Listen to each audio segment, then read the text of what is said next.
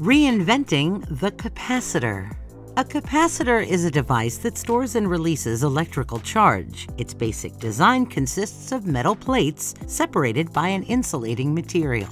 Capacitors are an essential part of all electronic circuits. They are thus fundamental to our modern technologies. In particular, capacitors are key components of field effect transistors, which control the flow of charge in an electric circuit and are omnipresent in almost all modern microelectronic devices. Transistors have been continuously miniaturized over the past few decades in order to pack them more densely onto microchips. Recently, however, a fundamental physical limitation has stalled further progress. The problem is that during their operation, transistors generate heat proportional to the consumed power. Although an individual transistor only produces a tiny amount of heat, in modern electronics, transistors are packed together so densely that the emitted heat approaches the limit of its possible removal. To overcome this issue, professors Valery Vinokur, Anna Razumnaya, and Igor Lukyanchuk of Terra Quantum are developing an ingenious solution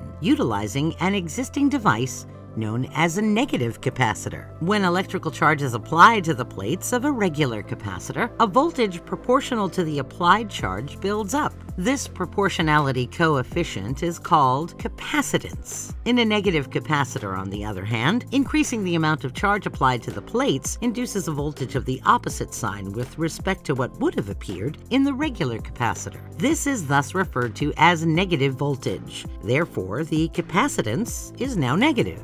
Combining negative capacitors into a larger circuit with regular capacitors allows the total capacitance of the whole circuit to be reduced while keeping it positive.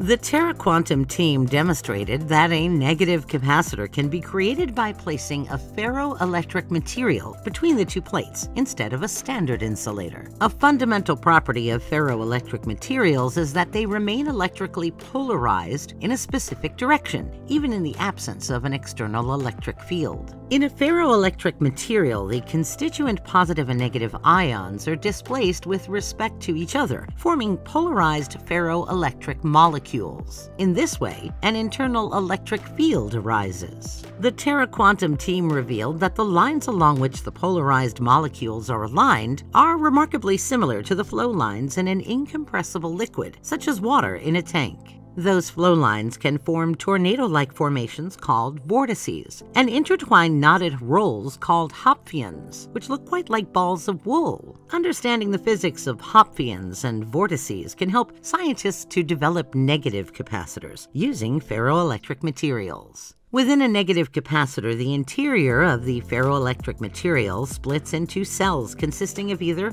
Hopfians or vortices. When this material is a ferroelectric nanoparticle, these cells evolved into so-called polarization domains. Within a polarization domain, all polarization lines are aligned in the same direction. The Terra Quantum team showed that within a negative capacitor, a well-designed ferroelectric spacer splits precisely into two domains, each one having opposite electric polarization to the other. Applying an electric charge to the capacitor's plates causes the wall separating these domains to move.